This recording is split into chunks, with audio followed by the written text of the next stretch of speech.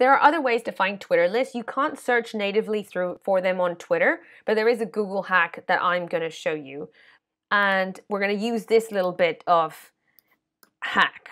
Site colon twitter.com is asking Google to search just within Twitter, just within that website. And then if we add forward slash asterisk forward slash lists as space, and then whatever it is that we're looking for, what Google is going to do is it's going to replace this asterisk with whatever it is the search term that we've added. So what it's going to look for is anything that's listed as a Twitter list that includes this word. So let's try it. Let's copy it over to Google and instead of search term, I'm going to say health reporters. And immediately it's displaying anything that it can find on Twitter listed as a list that includes the word the words health reporter. So for example, there's a list called health journalist, health reporters, medical health reporters, health reporters, healthcare journalists.